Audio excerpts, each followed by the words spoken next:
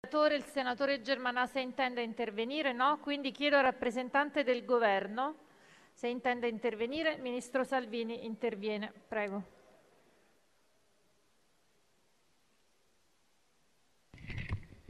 Grazie Presidente, grazie a tutti i senatori che sono intervenuti perché effettivamente è una giornata rilevante.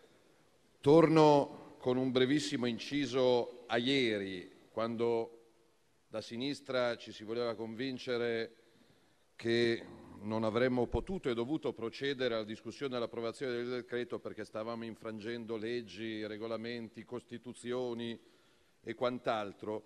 Io vi ricordo che dicendo questo non avete mancato di rispetto al ministro Salvini che è l'ultimo dei problemi, ma il decreto di cui stiamo parlando è stato emanato dal Presidente della Repubblica Sergio Mattarella molto semplicemente.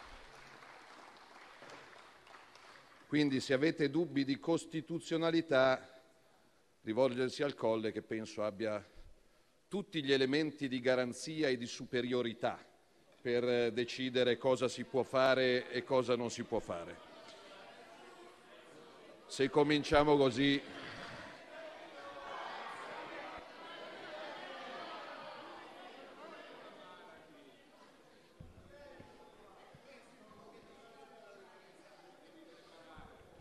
Capisco il nervosismo perché dopo 60 anni di chiacchiere vostre noi facciamo quello che non avete fatto voi. E quindi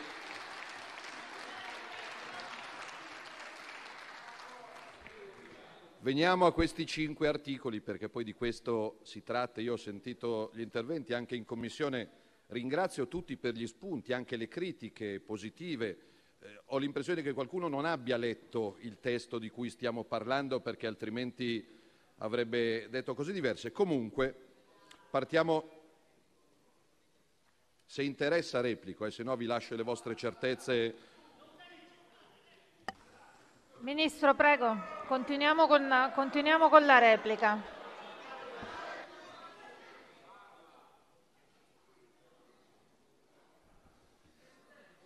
È curioso. Comunque, io parlo a chi vuole sentire. Mi sono fatto dare nel dettaglio la mole di investimenti che in Sicilia e in Calabria sono già cantierati o saranno cantierati, che non hanno precedenti nella storia repubblicana, 28 miliardi fra strade, autostrade e ferrovie in Sicilia e 28 miliardi fra strade, autostrade e ferrovie in Calabria. Quindi da questo si parte, da un investimento che non ha eguali Ragusa-Catania, agli atti. Un miliardo e mezzo, opera attesa dal territorio che riveste una particolare valenza trasportistica, adeguamento a quattro corsie della strada statale 640 strada degli scrittori Agrigento-Caltanissetta, un miliardo di euro. Raddoppio della careggiata sulla statale 284 tra Paternò ed Adrano, 500 milioni di euro. In corso di aggiudicazione la tangenziale di Gela, 400 milioni di euro in corso le attività di progettazione della tangenziale di Palermo con collegamento alle autostrade A19 e A29. Se interessa vado avanti perché qualcuno dice se fate il ponte non fate il resto. Noi stiamo facendo tutto, poi se interessa vado avanti. Eh? Quindi... Per il settore autostradale, nono lotto dell'autostrada Siracusa-Gela, 500 milioni di euro. Peraltro nel decreto c'è anche il commissariamento della A19, la Palermo-Catania, da tanti citata, su cui noi stiamo investendo e daremo poteri straordinari al commissario. Rete ferroviaria, perché si è parlato di strade e di ferrovie che se sono in queste condizioni non è per colpa del ponte che non c'è, evidentemente. Nuovo collegamento veloce, modernizzazione della ferrovia Palermo-Catania-Messina, 11 miliardi di euro. L'obiettivo è quello di realizzare 148 chilometri di ferrovia a maggior velocità per passeggeri e merci entro giugno 2026. Ripristino ed elettrificazione della linea Palermo-Trapani per un investimento di 280 milioni di euro. Bypass di Augusta per un investimento di 172 milioni di euro. Sono previsti interventi anche per il nodo di Palermo, il nodo di Catania, la linea Palermo-Agrigento-Porto Empedocle per il collegamento con gli aeroporti di Trapani, Birge e Fontanarossa e per la Caltagirone Gela con un investimento complessivo di circa 600 milioni di euro. Questo sul fronte siciliano. Arriviamo dall'altra parte dello stretto in Calabria. Eh, nella rete stradale e autostradale gestita da NAENS è previsto un piano di investimenti complessivo pari a 12,8 miliardi di euro, più di un miliardo di manutenzione programmata, 11 miliardi e 600 milioni di euro di investimenti. Tra gli investimenti prioritari ovviamente si segnala la strada statale 106 Ionica e dalle parole si passa ai fatti e ai cantieri e alcuni miglioramenti funzionali della 2 e il completamento della strada statale 182 e la trasversale delle Serre. Sulla ferrovia, sempre in Calabria, è previsto un piano di investimenti di 34 miliardi, di cui 16 già finanziati. Fra gli altri interventi l'alta velocità Salerno-Reggio Calabria, poi l'adeguamento tecnologico della linea Battipaglia-Reggio Calabria, la variante di Canitello, la linea Rosarno-San Ferdinando, eccetera, eccetera. Questo per rispondere a quelli che dicono sì, ma fate il ponte e manca tutto il resto. Noi ragioniamo d'insieme, facciamo il ponte che dà un senso a tutto il resto. Perché se io sto spendendo 11 miliardi di euro per arrivare in treno più velocemente da Palermo a Messina e altri 11 miliardi per arrivare più velocemente da Salerno a Reggio Calabria e poi mi fermo, smonto il treno, lo metto sul traghetto, inquino, arrivo dall'altra parte, rimonto il treno e riparto e perdo due ore, non ha senso quello che stiamo facendo. Quindi senza tutti questi 28 più 28 miliardi, è vero, il ponte da solo non serviva. Confermo, l'unicum lì in mezzo, senza strade, metropolitane e ferrovie, non serviva. Se finalmente si muove tutto il resto, fare tutto il resto per arrivare velocemente e poi fermarsi a Villa San Giovanni o a Messina non ha senso. Qualche intervento mi suggeriva che bisogna fare le strade per salire sul ponte, fortunatamente sono previste le strade per salire sul ponte, questo è, e anche per scenderci. Quindi, fra gli altri cantieri che ho avuto l'onore e la gioia di, di visitare, alcuni sbloccare, alcuni accelerare, alcuni semplicemente controllare, io ricordo in questi mesi il passante di Firenze, 7 chilometri di avveniristica galleria sotto la città per dividere l'alta velocità dalle merci e dai regionali per evitare che un deragliamento blocchi tutto il paese. Anche lì ovviamente c'erano circa 30 contestatori del no. Ecco, io penso che gli italiani abbiano scelto il governo dei sì. Se avessero avuto il governo dei no, il no TAV, il no TAP, il no qui, il no là, il no ponte, il no flat tax, no autonomia, no Expo, no Olimpiadi, no, avrebbero potuto scegliere la sinistra. In democrazia ci hanno dato una responsabilità di passare dalle parole ai fatti. Penso ad esempio al sopralluogo sul cantiere dell'alta velocità Napoli-Bari. A lavori ultimati si arriverà in due ore da Napoli a Bari e in tre ore da Roma a Bari. Anche lì c'è qualcuno contrario e mi spiace, io ascolto tutti, mi confronto con tutti, ma se poi un'opera pubblica serve agli italiani io vado avanti come un treno e se ci sono i comitati del no mi spiace.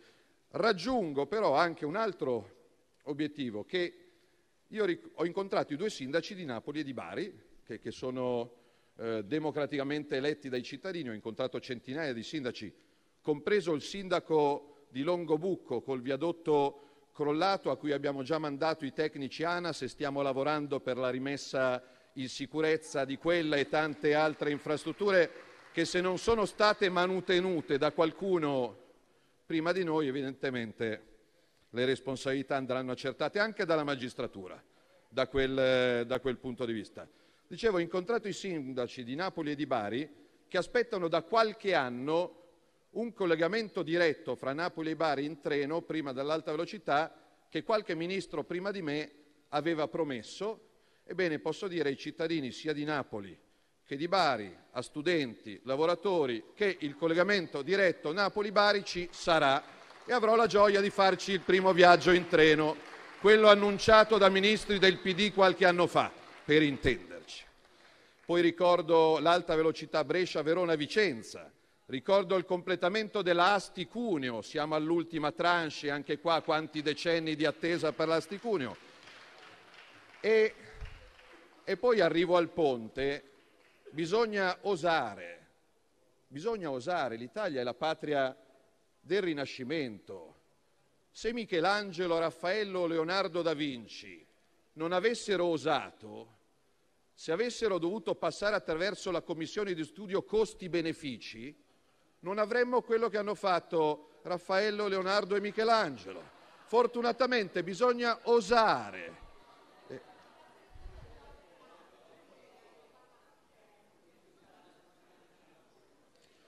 Le chiuse sui navigli di Leonardo da Vinci, se ci fossero state all'epoca i 5 Stelle, noi milanesi non le avremmo mai viste, per intenderci. Eh?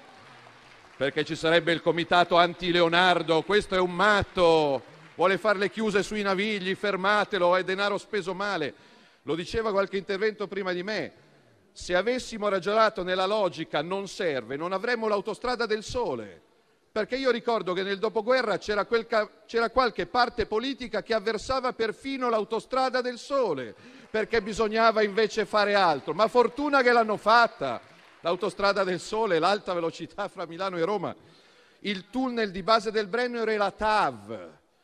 E qualcuno mi voleva convincere a proposito dei custodi del denaro pubblico che dopo aver speso miliardi per scavare un tunnel sotto una montagna avremmo dovuto spenderne altri per riempire il tunnel sotto la montagna. Andiamo avanti con la TAV e su questo, visto che noi stiamo facendo tutto quello che all'Italia ha richiesto, spero che il governo francese non venga meno alla parola data perché altrimenti di lezioni noi non ne prendiamo da certe, da certe latitudini. Il Mose, il Mose se non avessimo avuto il Mose, perché anche lì comitati, Venezia sarebbe finita sott'acqua decine di volte, avremmo messo a rischio un patrimonio non dell'Italia, del mondo. E poi la Orte Falconara, la Roma Latina che abbiamo commissariato, da quanti anni si parla della Roma Latina, la Tremezzina sul lago di Como, la diga di Genova, potrei andare avanti a lungo. Sul ponte, io ricordo che il concorso internazionale di idee del 1968, e a questo pongo particolare attenzione, la critica politica ci sta per carità e la benvenuta anche con dati bizzarri.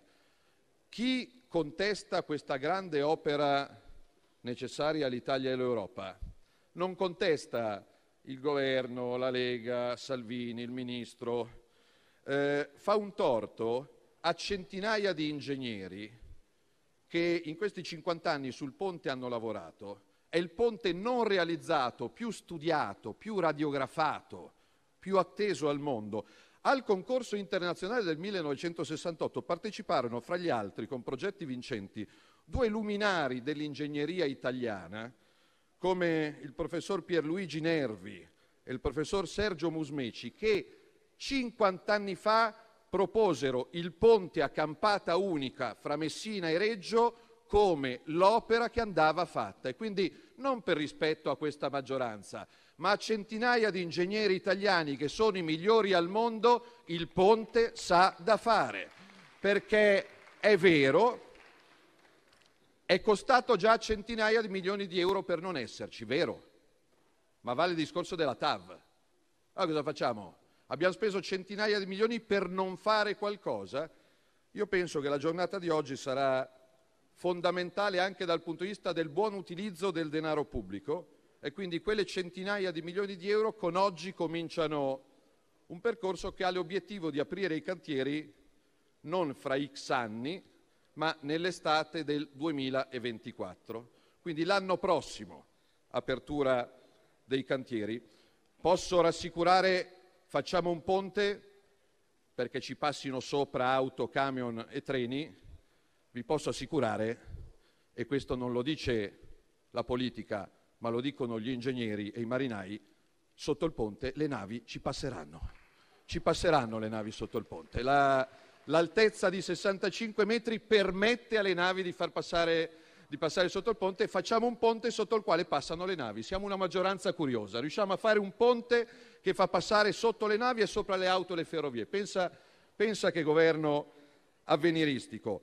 Ripuliamo il mare, ripuliamo il mare perché c'è chi di ambiente parla e c'è chi l'ambiente tutela.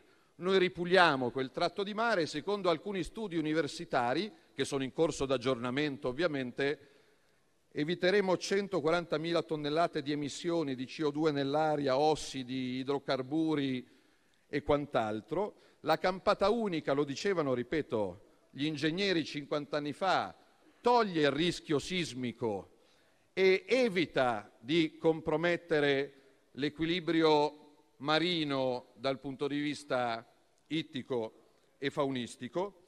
Ovviamente gli ingegneri hanno studiato i problemi legati al vento, si fa un ponte è perché resista al vento, hanno studiato gli eventi legati ai terremoti. Ovviamente se ci fosse un terremoto distruttivo e catastrofico sarebbe distruttivo e catastrofico per tutto, case, scuole, ospedali, ponti e quant'altro. Però io vi invito a fare una visita, come ho avuto l'onore di fare io, alla Galleria del Vento del Politecnico di Milano. Potete dubitare di Salvini, spero che non dubitiate del Politecnico di Milano che ha curato gli esami legati al vento e curerà. Il Comitato Tecnico Scientifico sarà composto dai più grandi esperti nazionali in termini di ingegneria e di infrastrutture. Non sarà un comitato politico, sarà un comitato tecnico scientifico e ci sarà, pensate bene, un consiglio di amministrazione composto da cinque persone per la più grande opera pubblica che partirà in lavorazione al mondo. Quindi abbiamo l'arroganza di nominare un consiglio di amministrazione a cinque per gestire quello che sarà un orgoglio italiano. L'ha detto qualcuno che è intervenuto, sarebbe bello che almeno su alcuni temi la politica si unisse, perché questo sarà un orgoglio italiano al mondo verranno da tutto il mondo a studiare, a visitare, a cercare di copiare. E quindi è in corso da parte dei tecnici di FS lo studio sui flussi, sono in corso tutte le valutazioni, verranno ovviamente rispettate tutte le normative, impatto ambientale, impatto paesaggistico, la progettazione in corso, anzi nel nome del buon utilizzo del denaro pubblico il ripartire col progetto Ponte ci metterà a riparo anche dai contenziosi miliardari che questi sì pendono da anni sulle, sulle nostre teste. Quindi poi io aspetto il contributo di tutti, però l'importante è scindere i due ruoli. Il ponte lo fanno gli ingegneri, lo, fanno, lo curano i geologi, gli architetti, lo faranno migliaia di operai e le stime parlano nell'arco della lavorazione, lavorazione ultimata, di 100.000 posti di lavoro vero fra Sicilia e Calabria, non redditi di cittadinanza dati una tantum, 100.000 posti di lavoro vero fra Sicilia e Calabria. Siamo in grado di contrastare le infiltrazioni mafiose? Sì, sì. Io mi fido della magistratura, mi fido delle forze dell'ordine, mi fido anche dei giornalisti d'inchiesta italiani. Abbiamo appena approvato un codice degli appalti che entrerà in vigore in via anticipata per i comuni colpiti dall'alluvione in Romagna, dando ai sindaci più fiducia e alzando le soglie per, per i lavori, perché io penso che le critiche che sono arrivate da certa sinistra, da certa stampa sul codice degli appalti in base al quale se l'appalto è più veloce e allora favoriamo la corruzione, chiunque abbia fatto per un giorno l'amministratore comunale sa che è vero l'esatto contrario. Se l'appalto è veloce è più difficile che il corrotto incontri il corruttore. Se l'appalto ti dura non dieci giorni ma dieci anni, è chiaro che per la corruzione è più facile infilarsi noi abbiamo scelto di fidarci di sindaci, imprenditori e liberi professionisti. Ho... Io non so se c'è un tempo nella replica, non voglio portar via tempo.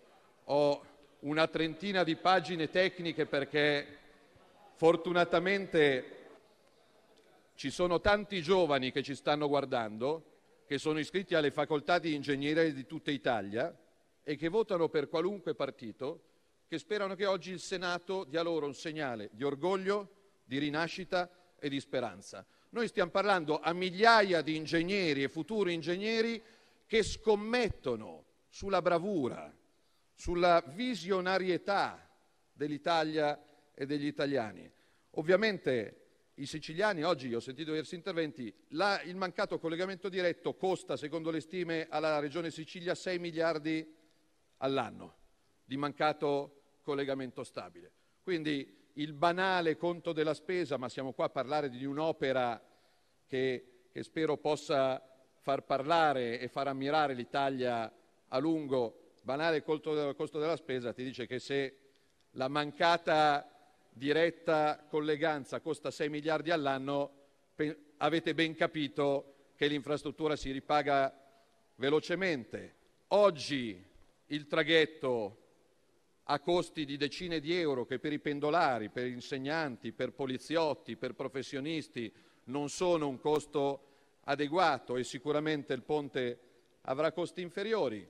Poi, per carità di Dio, raccogliamo da oggi la società Stretto di Messina, che torna operativa e che poi si occuperà di tutti gli aspetti economici, voglio rassicurare chi ha parlato di Europa che uno dei primi temi di cui ho parlato col commissario europeo ai trasporti Valean e che con più passione il commissario europeo ai trasporti sta seguendo è il ponte sullo stretto di Messina. Quindi da questo punto di vista temo di dover deludere chi aspetta che l'Europa ci dica un no, anzi aggiungo che andremo a chiedere alla Banca europea degli investimenti un contributo e alla stessa Commissione europea un contributo per realizzare quello che l'Europa, non il governo Meloni, Salvini, eccetera, ha riconosciuto come un corridoio da ultimare entro il 2030.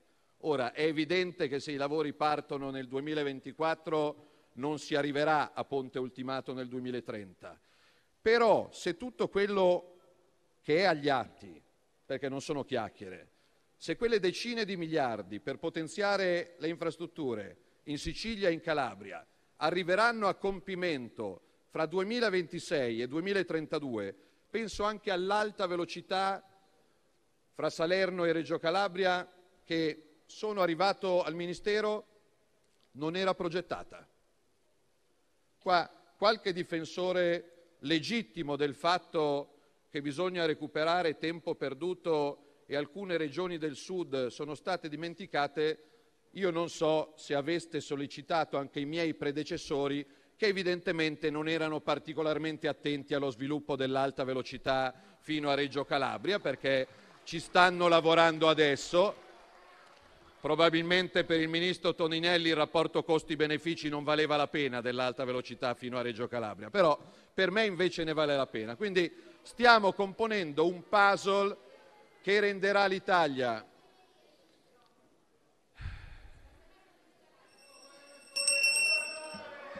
Colleghi, lasciamo il Ministro concludere, per favore. Prego. L'Italia più moderna, più veloce e più sicura, con oggi ha una delle tante risposte, poi il ponte è un tassello. Per me il ponte di San Benedetto Po piuttosto che il ponte di Calusco d'Adda o il viadotto di Longobucco o i viadotti della stra- dell'autostrada A24 A25. Mi avete lasciato una bella eredità, poi parleremo delle responsabilità di chi c'era prima. Il mio obiettivo è offrire ai residenti di Abruzzo e Lazio un servizio all'altezza di quella che si chiama autostrada, cercando di ridurre il pedaggio perché, ripeto, abbiamo trovato delle situazioni incredibili fra le 117 opere commissariate. Io capisco il rumorio, però noi siamo qua da sette mesi, in sette mesi i miracoli non se ne fanno, ma mi sembra... Silenzio. Prego, Ministro, concluda. La cosa è talmente appassionante e sfidante che mi spiace che qualcuno sia così nervoso perché oggi sarà una grande giornata non solo per Sicilia e Calabria, oggi è una grande giornata per tutto il paese Italia e quindi io ne sono orgoglioso di essere umile, operaio. Poi da oggi faranno il loro lavoro gli ingegneri, gli architetti, i geologi, i tecnici, i professionisti.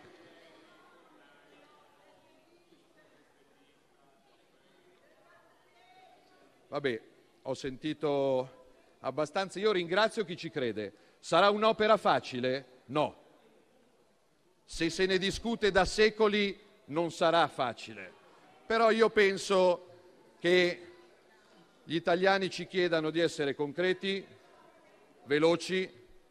Io ringrazio i colleghi ministri che hanno dato prova in queste ore di una concretezza, di una rapidità e di uno spirito istituzionale notevole, dando immediate risposte alle popolazioni di Romagna, Emilia, Marche e Toscana, a cui va il nostro pensiero, la nostra vicinanza, il nostro sostegno e il nostro contributo concreto, 2 miliardi, 2 miliardi, però anche lì ci sono alcuni ingegneri, alcuni esperti di tutela del territorio, alcuni geologi di cui sto leggendo interessanti interviste sui giornali in questi giorni che invitano che oltre allo stanziamento di miliardi si metta davvero e non a chiacchiere in sicurezza il territorio, dragando fiumi e torrenti, togliendo la legna là da dove va a essere tolta e curando gli argini, e curando gli argini perché ogni essere vivente è assolutamente da tutelare, però uomo e donna magari un minimo di tutela in più rispetto alla nutria lo meritano. Quindi io vi ringrazio e con oggi parte un percorso che durerà anni, che però penso sia il coronamento dei sogni di centinaia di studiosi che hanno pensato in grande per il nostro Paese. Quindi io mi occupo di manutenzione quotidiana, piccola, eh, giusta, vie, rotonde, treni pendolari e tutto quello che il Ministro delle Infrastrutture e dei Trasporti deve curare, però se torniamo a pensare in grande l'Italia tornerà a essere il paese che nel mondo occuperà il posto che le spetta. I primi, perché questo sarà il ponte a campata unica più lunga al mondo. Quindi grazie, viva il ponte e grazie per il contributo anche di chi ha criticato perché è sempre utile capire dove si sbaglia, basta che le critiche si poggino su fatti e non su pregiudizi ideologici.